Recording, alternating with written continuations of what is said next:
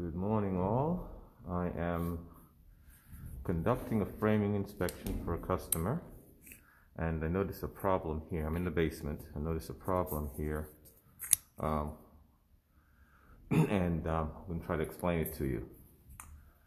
So this floor joist right here, this one, okay, sits directly over top of this window.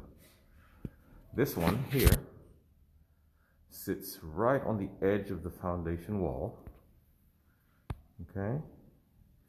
And whenever a floor joist sits over the top of a window like this one does, you have to insert what we call a header across the top of the window that sits on the foundation on both sides, roughly uh, four to six inches extends, so that when you attach this joist to it using a joist hanger, the weight of this joist is not bearing on the window.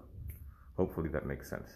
Okay, so if we get closer, you will, see, I'm gonna get up, up there a little closer so you can see what I'm talking about.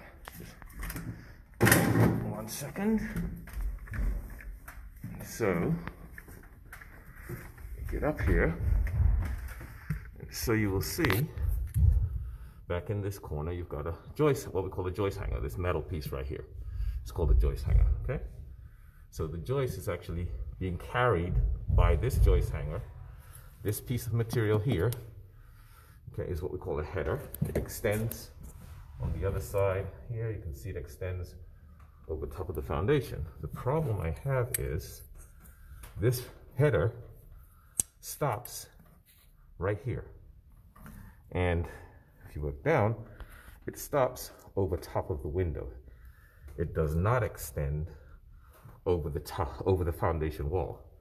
So over time, as the house settles, this head is going to have a tendency to want to move down, and it's applying too much weight to this window. Hopefully that makes sense. I'm going to show you another window where it's done properly. So hopefully you'll get a full sense of it. Okay. So over here we have the exact same condition. Okay.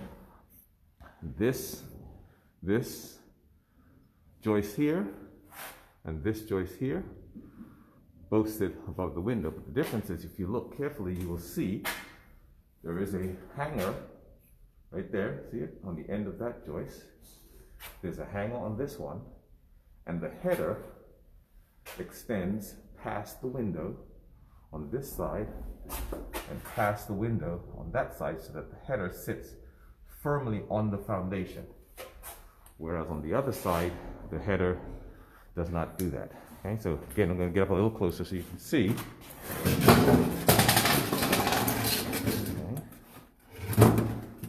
Okay. Closer here.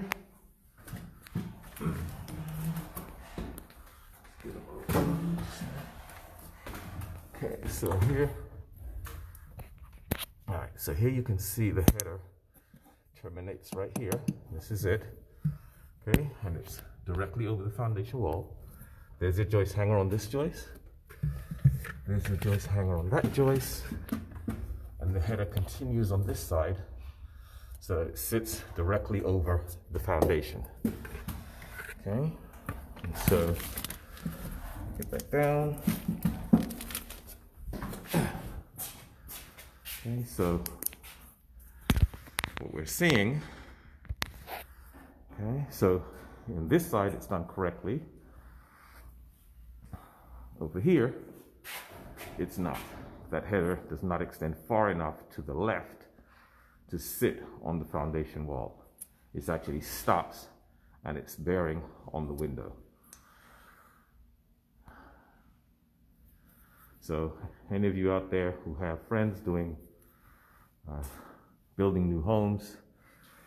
We always like to post these videos to have folks, you know, please share them with your friends, family members, co-workers, and what have you, so that they will take, you know, invest the money in a uh, framing inspection before they put drywall on this, on their house.